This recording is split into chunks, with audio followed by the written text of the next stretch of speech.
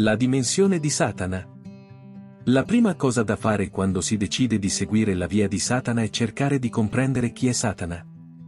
Questo è fondamentale nella nostra relazione con lui affinché possiamo ricevere tutti i benefici che ci può concedere. Satana è un essere creatore, un Dio della stessa grandezza e magnitudine del Dio dei cristiani, solo la sua personalità e il modo in cui agisce sono diversi. Non possiamo considerarlo come un'entità spiritica, né possiamo sminuirlo o mancargli di rispetto dandogli una posizione inferiore a quella che occupa davvero in questo universo infinito e misterioso.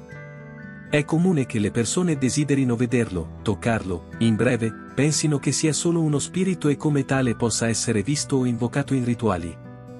Ciò non è possibile in modo così semplice. Satana è un Dio presente e comunica con noi, ma principalmente attraverso intuizioni e sogni. È quindi necessario aprire il nostro canale spirituale, accettarlo come il nostro unico Dio, ma in modo sincero e dedicato, poiché conosce il cuore di tutti.